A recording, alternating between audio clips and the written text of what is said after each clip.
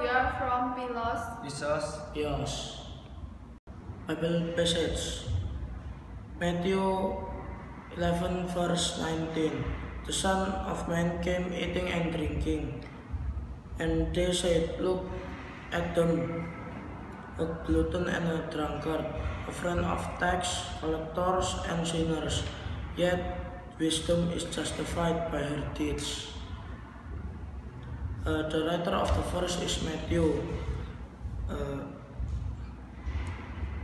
Matthew is writing the verse to the reader of Bible.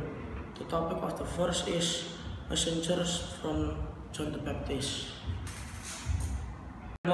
Bible passages. Segment 2. Word for. Segment 3. Time to act. Matthew 13 verse 1. That Sunday Jesus went out of the house and sat beside the sea. The writer first is Genesis. Two. The writer is Simon.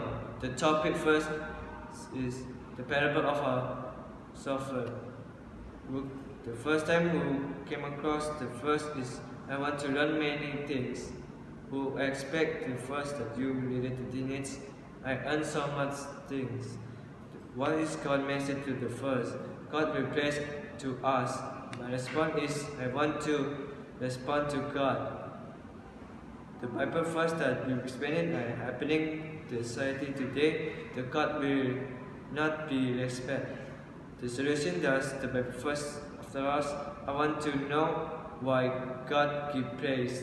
The action that we take after reading the Bible first, I want to learn many things.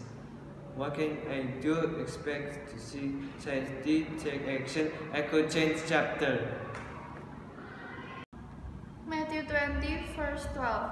These men who were last word only one heart, they said, and you have to make them equal to us who have borne the burden and the scorching heat of the day. The writer of the verse, Matthew, he was writing to convince his readers that Jesus is the Son of God. The topic of the first chapter is the parable of the workers. What came across your mind the first time you read the verse? They should not be equated. Which aspects from the verse you can relate to as a teenager? My friends is a person is not too smart. She always equated with friend who is smarter than her. What is God's message through the verse should not be differentiated between others.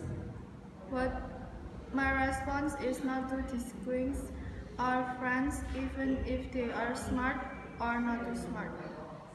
What is happening with the society today and how can you relate it to the Bible verse that you're explaining not to differentiate our friend with the smart and not too smart.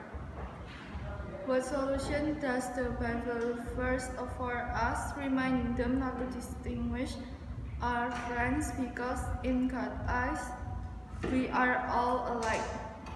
What action should we take after reading the Bible first, not to distinguish people? What change do you expect to see in the society after people read the Bible first and take action not to distinguish others again? Thank you and God bless you.